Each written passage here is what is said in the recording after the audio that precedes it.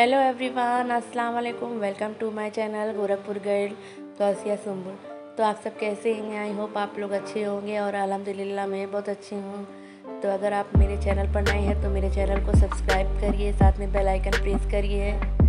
तो आज आपको मैं इमली और गुड़ की चटनी बनाना सिखाऊँगी। तो ये इमली है, ये इसमें बीज निकली हुई इमली है ये।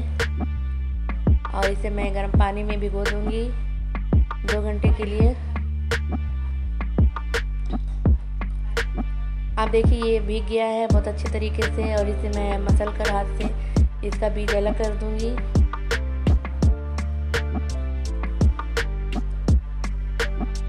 अब मैं एक बर्तन लूँगी, उसमें जाली लगाऊँगी और उसको छान लूँगी।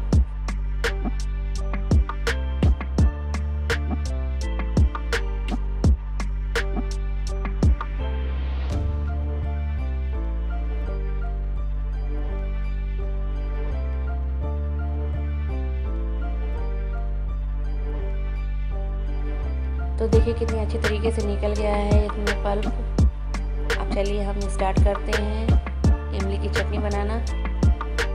तो हम एक कढ़ाई लेंगे और उसमें थोड़ा सा तेल डालेंगे। ये मैंने रिफाइंड ऑयल डाला है और इसमें थोड़ा सा जीरा डालेंगे और इसमें हींग डालेंगे चुटकी भर। अब मैंने ये इमली का पल्प डाला हुआ है पूरा। इसे पका लेंगे थोड़ा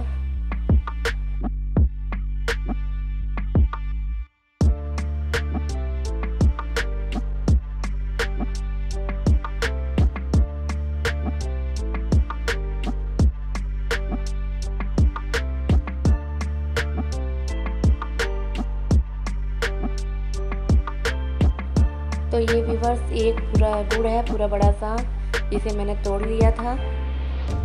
अब इसे डाल के पका लेंगे अच्छे से।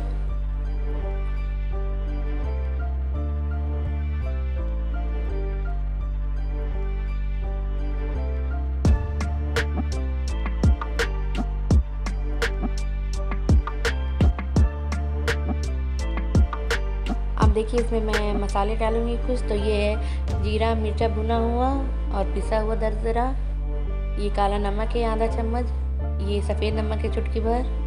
ये चाट मसाला है आधा चम्मच और ये कुटी हुई सौफ है आधा चम्मच। अब मैं इसे मिक्स कर दूँगी इसमें।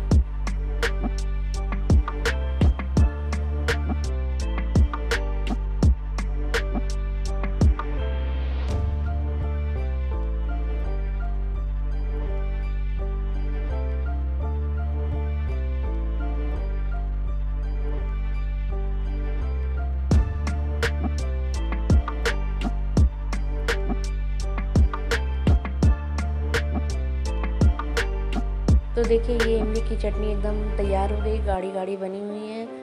और देखिए, इसे आप जार में रख कर फ्रिज में रख दीजिए और महीनों भर चलाइए।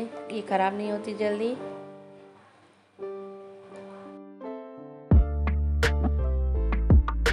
तो अगर आपको ये मेरी वीडियो पसंद आई है तो मेरे चैनल को सब्सक्राइब करें, लाइक करें, कमेंट्स करें, शेयर करें। अल्लाह हाफिज़ दुआ में याद रखना। फिर मिलेंगे नए वीडियो के साथ।